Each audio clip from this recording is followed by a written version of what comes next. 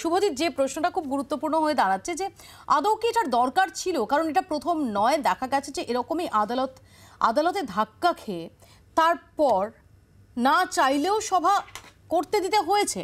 বরং সেটা বড় ধাক্কা এবং সেটা যাদের সভা, তাদের জন্য অ্যাডভান্টেজের এমন একটা বক্তব্য রাজনৈতিক মহলে রয়েছে।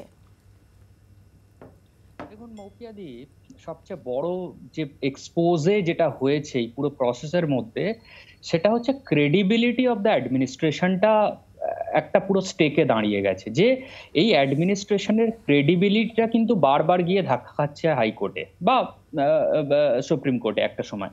তো এই জায়গায় ভাবতে হবে যে যে কোনো আজকে আপনি জানবেন যে সুপ্রিম কোর্টে এবং হাইকোর্টে বিভিন্ন ধরনের স্টেট গভর্নর রিলেটেড মামলা চলছে এবং সেখানে বেশ টানাপোড়েন চলছে। সেখানে গভর্নরকে রীতিমতো বলা হয়েছে পাঞ্জাব এবং কেরালার একটি কেসে যে গভর্নরদেরকে তাড়াতাড়ি বিলে অ্যাসেন্ট দিতে হবে। ডেমোক্রেটিক্যালি ইলেক্টেড অ্যাসেম্বলিদের। ফেলে রাখা যাবে না। তো এই জায়গায় যেমন একদিকে গভর্নরদেরকে ওনারা রিমাইন্ড করাচ্ছেন চিফ জাস্টিস অফ ইন্ডিয়া এবং তার বেঞ্চ অন্যদিকে আজকের সেই চিফ জাস্টিস অফ ক্যালকাটা হাইকোর্টকেও মনে করাতে হচ্ছে কি একুশে জুলাই শুধু তোমরা কেন? বা অন্য, অন্যরা কেন নয়? বা ওই জায়গাতে তোমাদের কি ধরনের এ তার আগে রাজশেখর মান্থার বেঞ্চ বললেন যে আমি না, এটা কোর্ট পুলিশকেই কিন্তু এই দায়িত্ব নিয়ে এটার পুরো সভাটার গ্রিন সিগন্যাল দিতে হবে।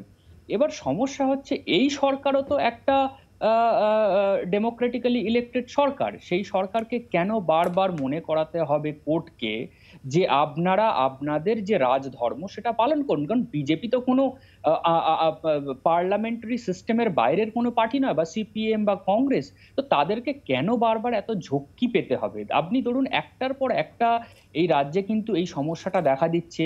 দলুয়াখালীতে যেতে চেয়েছিল সিপিএম এর প্রতিনিধি দল বিজেপির প্রতিনিধি দল, সেখানে আটকে দেওয়া হচ্ছে। মানুষ রাজনৈতিক নেতারা মানুষের সাথে দেখা করতে যাচ্ছেন তাতে অসুবিধা হওয়ার কি আছে?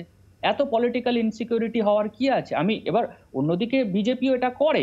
বিজেপির রাজ্যে সেখানে প্রবলেম আপনার মনে থাকবে, হাদরাসে যখন দলিত মেয়েটির রেপ হয়েছিল, তৃণমূলের প্রতিনিধি দলকে ঢুকতে দেওয়া হয়নি। এরা এরা এরা কিন্তু কেউ কম যায় না, আমি বলছি। মানে পলিটিক্যাল এথিক্স বা রাজনীতিতে যে নৈতিকতা, সেই নৈতিকতা কারুর যে খুব একটা বেশি হাইফাই সেটা আমি একেবারেই মনে করি না। সে কংগ্রেস হোক বা সিপিএম হোক বা তৃণমূল হোক বা বিজেপি হোক। কিন্তু সমস্যাটা পশ্চিমবঙ্গের ক্ষেত্রে, কারণ পশ্চিমবঙ্গে আমরা কোনো একজন বলেছিলেন যে হোয়াট বেঙ্গল থিংস টুডে অন্যরা পরে ভাবে সেটা। তো বেঙ্গল কি আজকে আমরা এইটা ভাবি? যে আমাদের একটা সাধারণ রাজনৈতিক মিটিং করার জন্য একদম হাইকোর্টে একের পর এক একেবারে আমার এখানে দেবাংশুর কাছে প্রশ্ন। দেবাংশু এই যে একটু আগে হাতরাসের কথা বলছিল শুভজিৎ দলুয়া খাকি বা হাতরাসের ক্ষেত্রে তবু আমি বলব যে ভিন্ন প্রেক্ষিত রয়েছে যে সেখানে একটা ঘটনা ঘটেছে, তারপর সেখানকার আইন শৃঙ্খলা পরিস্থিতি ইত্যাদি ইত্যাদি মাথায় থাকলেও থাকতে পারে।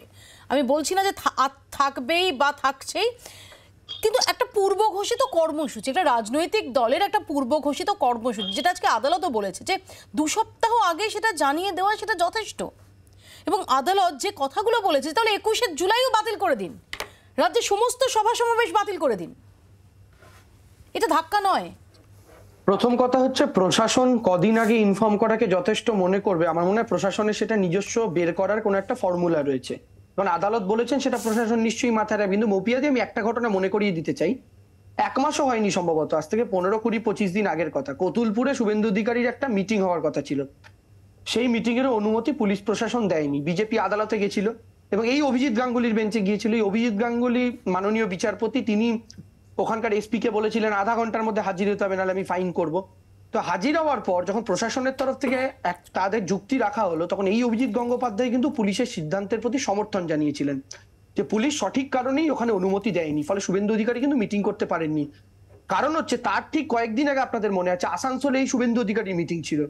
এবং সেখানে প্রশাসনের সব অনুমতি ছিল না, তা সত্ত্বেও বলপূর্বক তারা সেখানে সভা করেন। এবং সেই সভায় পদপৃষ্ট হয়ে পাঁচ সাতজনকে আমরা কিন্তু হারাই। এই ঘটনাও কিন্তু আমাদের মনে হচ্ছে তার দায় কিন্তু শুভেন্দু অধিকারী নেননি। তার দায় কিন্তু বিজেপির কোনো নেতা নেননি। মারা গিয়েছিলেন কিন্তু সাধারণ মানুষ। যে কারণে প্রশাসন ওইখানে অনুমতি দেননি, সেই কথা চিন্তা ভাবনা করি। আজকের দিনেও দাঁড়িয়ে ধর্মতলার বুকে এই মিটিংকে কেন্দ্র করে নিশ্চয়ই প্রশাসনের কোনো চিন্তা ভাবনা ছিল। আজকে আদালত যে ডিরেক্টিভ দিয়েছে, সেটাও প্রশাসন মাথায় রাখবে। কিন্তু এর সঙ্গে আমি বারবার যেটা বলতে চাইছি পলিটিক্যাল কানেকশন খোঁজা বৃথা। পলিটিক্যাল কানেকশন খোঁজা বৃথা। এই কারণেই কারণ যদি আপনার যুক্তিটাই ধার নিয়ে আমি বলি, এটা যদি এরকম কোনো ঘটনা হতো যে বাংলায় কোনো একটা ঘটনা ঘটেছে আর সেই ঘটনাকে কেন্দ্র করে বিজেপি আসছে, রোখা হচ্ছে, আমি সেখানে পলিটিক্যাল আর্গুমেন্টে আপনার সাথে যুক্তিতর্কে লড়াই করতাম যে দিদি এটা পলিটিক্যাল কি পলিটিক্যাল নয়। কিন্তু যেটা একটা পূর্বঘোষিত কর্মসূচি আর ওই পয়েন্ট নিয়ে পুলিশের আপত্তি, সেই পয়েন্টের বদলে যদি আজকে কলকাতার অন্য একটা পয়েন্টে ওই মিটিংটা হয় তাতেই বা তৃণমূল কংগ্রেসের কি যাবে আসবে? মানে আমার কথা হচ্ছে মিটিং তো মিটিং এর মতোই হবে। মিটিং এ যা লোক আসার সেই লোকই আসবে। তাতে তৃণমূল কংগ্রেসের তো আপনারা চব্বিশ ঘণ্টা লাইভ দেখাবেন অমিত শাহের মিটিং সব চ্যানেল লাইভ দেখাবে। ফেসবুকেও লাইভ হবে। সজল দাও হয়তো থাকবে বাকি নেতারাও থাকবেন। যার যা ভাষণ দেওয়া সেটাই ভাষণ দেবেন। তৃণমূল কংগ্রেসের একটা ভোটও কমা বাড়ার তো এখানে জায়গা নেই। তো আমি ওটাই বলছি যে আরে দেবাংশু আমি তো এইটাই বলছি তুমি তো আমার কথাগুলো বলে দিলে যে ভোট বাড়ার কমার কোনো জায়গা নেই। লোকে যে দেখার দেখবে? পিসিমণিকে বোঝাও না এসব তাহলে বলাবলি করে পুলিশকে দিয়ে গাল বাড়িয়ে বারবার থাপ্পড় খাওয়ার কি দরকার। আমি তো শুধু এইটাই ভাবতে চাই। এই যে ব্যাপারটা এই ন্যারেটিভটা যে পলিটিক্যালি তোমাদেরকে কোথায় নিয়ে গিয়ে দাঁড় করাচ্ছে তুমি একটা ভালো কথা বলেছ।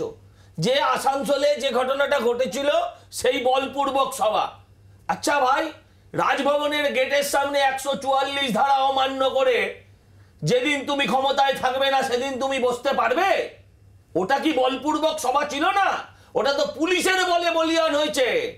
ওই ষাট পঁয়ষট্টি কিলো পুলিশের বলে বলিয়ান বন্দ্যোপাধ্যায় কি- নিজের বলে তো এটা এই সম্ভব পুলিশের বলে বলিয়ান এটা কি সরকারের বলে বলিয়ান নয়। ছয় ইঞ্চির লাঠির কথা 144 বলেছিল? ধারাকে বুড়ো আঙুল দেখিয়ে বলছি, এই আপনারা যে পুলিশের সভা বলে ওখানে বলিয়ান করেছিলেন, কি শুভেন্দু সেই অধিকারী সভাটাও দিল্লির ছয় ইঞ্চির বলপূর্বক লাঠির সভা কথা ছিল। বলেছিল? এখানে চার পাঁচজন মারা গেছিল ওখানে গণতন্ত্র ধ্বংস হয়েছিল।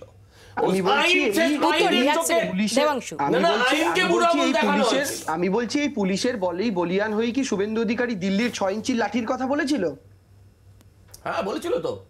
বলেই বলেছিল হয়তো? তো। যে যারা অন্যায় করবে তাদের পুলিশে বেরোবে। এটাই তো হওয়া উচিত। বাংলার আওয়াজ বাঙালির আবেগ। জি চব্বিশ ঘণ্টা।